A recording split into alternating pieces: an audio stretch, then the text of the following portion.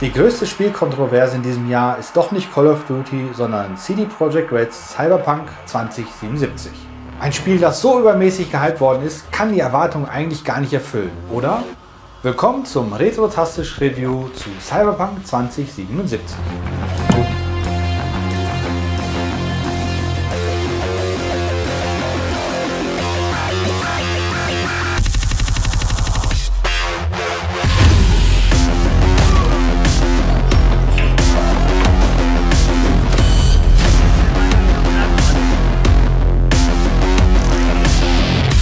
city of dreams. And I'm a big dreamer. Wer Cyberpunk 2077 noch nicht gespielt hat, dies aber möchte oder noch dabei ist, seid gewarnt, es wird ein bisschen Spoiler hageln. Drum nicht böse sein oder einfach das Video später anschauen. Allen anderen sei gesagt, viel Spaß. 2013 gab es den ersten Teaser, sieben Jahre später erschien Cyberpunk 2077 für alle Gaming-Plattformen wie PC, Sony oder Microsoft-Konsolen. Versprochen wurde eine intensive Cyberpunk-Welt und das Versprechen wurde auch gehalten. Basierend auf das Pen-and-Paper-Rollenspiel Cyberpunk 2020 entwickelte CD Projekt Red eine Fortsetzung. So tauchen wir in die Abgründe von Night City ab und erleben eine sehr persönliche Geschichte um den Held oder Heldin mit dem Namen V sowie Johnny Silverhand.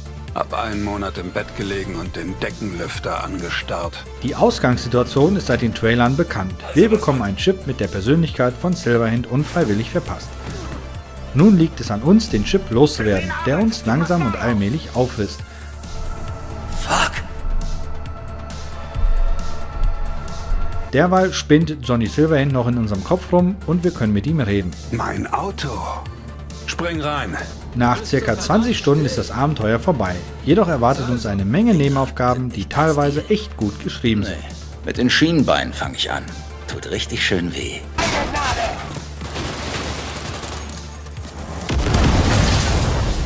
Rollenspieltypisch gibt es Fähigkeiten, Skillpunkte und jede Menge Items. Ein Klassensystem gibt es nicht wirklich. Im Grunde hängt es von unserem Spielen ab.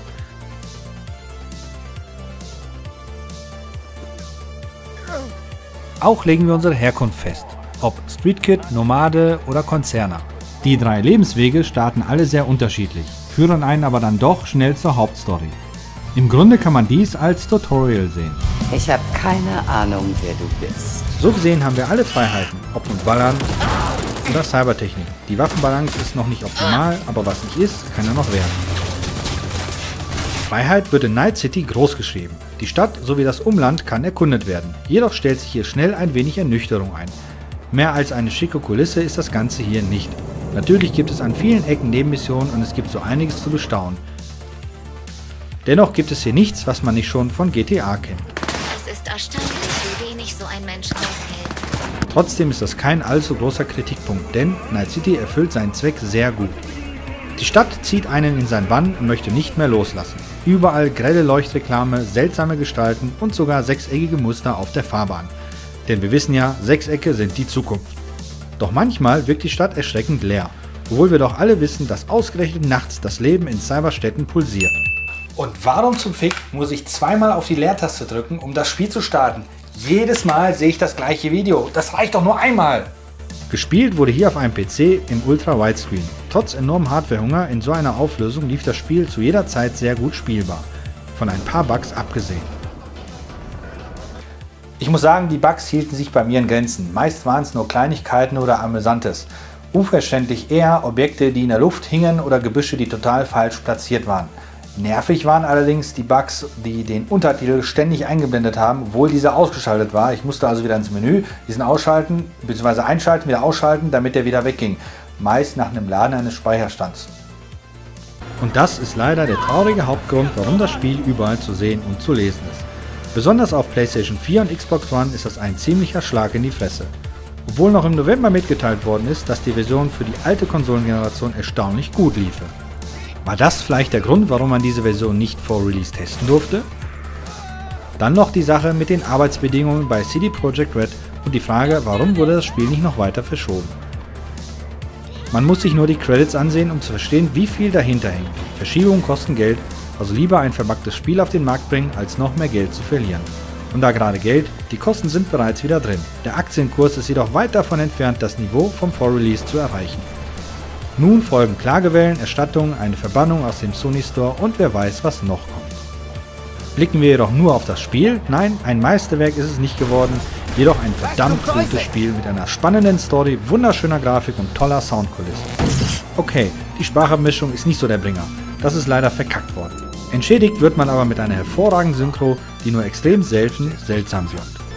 Seine Freunde müssen das hören. Hoffentlich ist es nicht zu spät. Kennst doch das Spielchen. Wenn du zu lange in den Abgrund starrst, starrt der Abgrund auch in dich hinein. Kleiner Tipp, Gesamtlautstärke runter, Sprachlautstärke laut. Bleibt abschließend nur noch einiges zu sagen. Schade, dass man hier einige Fehlentscheidungen getroffen hat, wie zum Beispiel den alten Konsolen nicht mehr so viel Aufmerksamkeit zu schenken. Ebenso, dass man das Spiel nicht noch weiter verschoben hat, ob man nun wollte oder konnte oder durfte. Allen, die unsicher sind, sollten daher lieber auf die Game of the Year Edition warten. Bekommen dann aber sicherlich ein sehr, sehr gut abgestimmtes Paket. Ich werde die Stadt sicherlich noch einige Male besuchen, da es noch offene Nebenaufgaben gibt. Ebenso freue ich mich auf einige Story-DLCs, die ja auch kommen sollen.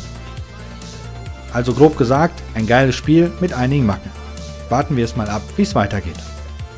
So, das war unser Beitrag zu Cyberpunk 2077. Wenn euch das Video gefallen hat, lasst doch einen Daumen da. Ein Abo ist natürlich auch immer sehr gerne gesehen und die Glocke nicht vergessen, weil auch wir veröffentlichen regelmäßig immer wieder mal ein paar Videos.